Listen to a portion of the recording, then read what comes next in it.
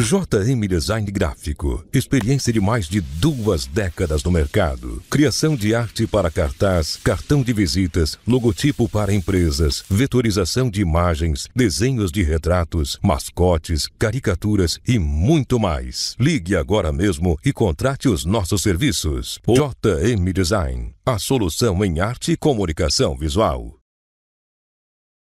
Muito bem, pessoal, tudo bem? Então resolvi fazer esse novo vídeo para te mostrar como utilizar essa nova versão do PixArt para computador aqui no ano de 2019 por causa dessas novas atualizações, tá? É, até presente momento ele é só para o Windows 10, tá? Não funciona no Windows 7, ok? Então nós vamos aqui no menu iniciar, vamos aqui na loja e aqui na pesquisa você vai digitar PixArt, ele vai aparecer aqui, ó, esse nome, você clica sobre ele, confere o nome para ver se é esse nome mesmo aqui. Vem aqui na opção instalar, ok? Para instalar no seu computador. Ó, requisito do sistema aqui, ó, em requisito do sistema, ele tem aqui sistema operacional Windows 10, tá? Ele tem que atender esse requisito para funcionar com perfeição. Então tem que ser Windows 10 na versão 16.299.0 ou posterior, ok?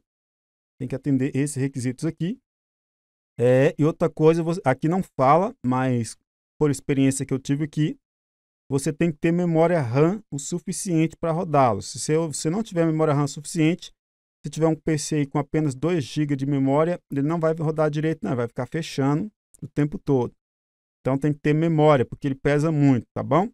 Então é requisito aí básico para ele rodar. Meu computador aqui tem 8 GB de memória, então por isso eu não tenho esse problema. O meu não fecha, não fica travando. Então nós vamos aqui em instalar. Ó, ele está instalando aqui, vamos aguardar aqui alguns minutinhos para ele fazer a instalação. vou dar pausa no vídeo para o vídeo não tomar muito tempo. Está indo até rápido, né? Eu vou deixar ele passar aqui, está indo rápido. Ok. Após instalar, você pode iniciar ele por aqui. Você pode é fixar ele no menu iniciar. É isso que eu vou fazer, então vou aqui, ó, nesse ícone. Vou mandar fixar em iniciar. Pronto, após colocar ele no iniciar, eu virei aqui, ó, iniciar. Ele já vai aparecer, eu clico aqui sobre ele para abrir. Vou maximizar a tela aqui para ela ficar grande. É, pessoal, eu observei, algumas pessoas me mostraram no notebook, a tela dele no notebook, ela é diferente né, desta nossa tela aqui. Eu não sei, porque eu não tenho notebook, eu não uso notebook. Então, não sei dizer se a tela vai aparecer diferente para você aí. Uma pessoa me mostrou e no notebook ele parecia como se fosse realmente um celular. E aqui ele não é celular, ele é versão PC, pessoal. Então, se você tiver com a versão que parece celular aí, não é a mesma versão que eu estou utilizando, não. Tá? Então, aqui você pode ir na opção entrar ou na opção registrar. Pô, na opção entrar aqui, se você vier aqui nessa opção, ele vai querer que você compre o aplicativo. Então vamos aqui em registrar. Tá? Então aqui em registrar, ó, você vai colocar o nome de usuário.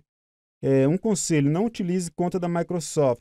É, quando você utiliza conta da Microsoft, o seu aplicativo, ele tende a ficar travando, porque a sua conta que você está logado, que, que, é, que eu estou logado da Microsoft, ela vai ficar dando conflito com o aplicativo ele fica fechando. Então, use uma conta do Gmail, uma conta do Google. Então, cria uma conta aqui e cria o um nome de usuário. Como eu já tenho, na verdade, a conta, vou ver aqui se ele deixa eu entrar com a conta que eu já tenho. Ele vai, provavelmente vai dizer que eu já tenho. Então, vou digitar aqui a minha senha primeiro. Vou aqui de novo aqui. Então, ele está dizendo que essa conta já existe. Apareceu aqui em inglês aqui, dizendo que já existe.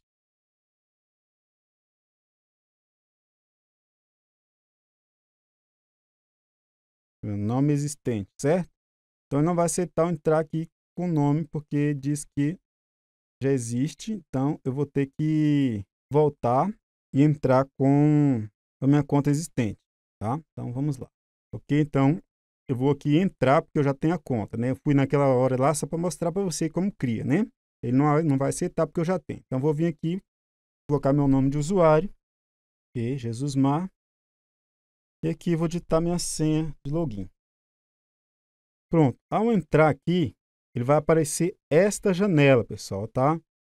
Quando ele aparecer esta janela aqui, ele está pedindo para você comprar o aplicativo. Você vai ignorar isso aqui. Você não vai utilizar essa janela porque você não vai comprar. É aqui que muita gente está se perdendo. O pessoal fala que é comprado, mas tem a versão grátis. Então você fecha isso aqui, ó. Ó. Então você criou o seu login, você entrou, fecha aquela janela, o seu aplicativo já vai estar funcionando aqui, beleza, entendeu? Então era essa aí a dúvida que o pessoal estava falando, que agora o aplicativo é pago, né? Ele continua sendo gratuito, tá? É só você fechar aquela janelinha porque você não quer comprar o aplicativo. Você fechou, já era. Você não vai clicar em Start Free All, nada daquilo. Se eu clicar aqui em Gold, ó, ó ele vai voltar para aquela mesma janela, tá vendo? Porque ele quer me vender o aplicativo. Então, se eu clico aqui em Start Free isso aqui é o quê? vou usar ele por 7 dias gratuito e depois vou ter que pagar 125 ou 115 reais por ano, tá? Então, eu não vou aqui, eu fecho, pronto. Tá aqui o aplicativo gratuito para você utilizar à vontade. Se você vai fazer o cartaz com apenas uma foto, se quer aplicar esses efeitos, tem essas pré-definições, você pode estar utilizando. Basta iniciar elas. Quando você inicia elas aqui, ó, ele vai pedir para você ir no computador, você vem aqui, escolhe uma foto do seu computador e aplica o efeito. Eu não vou utilizar essa opção aqui, eu vou utilizar a opção de editor. Vim aqui e vai aparecer a mesma janela, vou no meu computador. Vou pegar primeiramente a imagem de plano de fundo, vou escolher essa imagem aqui, vou abrir. Ok. Aí ele vai abrir agora essa janela. Então, na verdade, o pessoal está reclamando que o aplicativo ficou ruim, mas não ficou ruim, tá, pessoal? Na verdade, ele melhorou. Melhorou e melhorou muito, porque aquela primeira opção era beta. E essa aqui é a opção final, não é mais beta. Então ficou muito melhor agora. E não, não fica mais fechando, não fica mais travando. Se está fechando no seu, sinto muito, mas seu computador não suporta ele. Não é culpa do aplicativo, mas seu computador que não tem memória, não suporta, tá?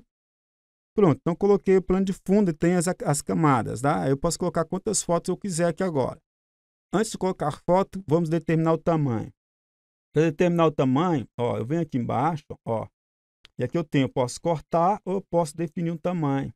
Tá? Se eu clicar aqui em definir tamanho, aqui eu posso colocar o tamanho que eu quero para o meu projeto. Só que antes de colocar o tamanho, eu te aconselho a vir aqui e cortar primeiro. Você vem aqui cortar, ok? Vem em configurações. Aqui em configurações, você vai escolher aqui, ó, essa opção aqui. Porque aqui você tem as definições, tá? Você pode colocar um por um. Você vai fazer um quadrado igual está aqui, por, lá para o Instagram. Você escolhe um por um. Você vai fazer, ó, pode fazer 3 por 2 para você postar na horizontal. 3 por 4 para o Facebook. Isso aqui, ó, aquele cartaz do Facebook lá, que ele aparece sem cortar a borda nenhuma, é o 3 por 4. Pode estar tá utilizando o 3 por 4, 4 por 3 ou o 16 por 9, que é o HD. O 16 por 9 é aquele tamanho HD, 1280 por 720, para ficar na horizontal. O nosso nós vamos fazer esse aqui, ó, 4 por 3, que é, oh, 3 por 4, perdão, para ele ficar em pé assim, tá? Pronto, definimos é, o que nós vamos utilizar do nosso projeto. Você pode estar movimentando, escolhendo a melhor área da imagem. No caso aqui, eu prefiro escolher essa área aqui, tem essas, essas estrelinhas né? E nós vamos aqui agora em salvar. Tem que salvar. Ok? Então agora aqui eu apenas cortei na proporção é, 3 por 4, mas eu não defini o tamanho. Agora eu preciso é, definir o tamanho é, do meu, da minha arte, tá? Tem que definir. Então, bom, aqui para me salvar a imagem no formato é, 3 por 4 no computador. Se eu clicar aqui, vai salvar no computador, tá? Mas ainda não quero salvar no computador, então vou fechar aqui, ó. Ele já está cortado já na proporção, ok? Então, agora basta eu vir aqui agora em tamanho. E aqui eu vou escolher o tamanho. Então, ele está nessa proporção aqui que vai ser muito pequeno.